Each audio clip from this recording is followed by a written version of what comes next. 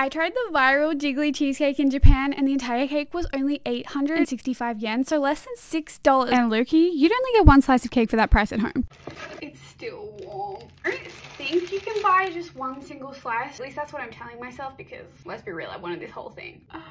Literally looks like a cloud. Weirdly tastes more like egg in a good way. It is so fluffy and light that we have eaten half of it because it doesn't feel like you're eating anything. Just can't stop.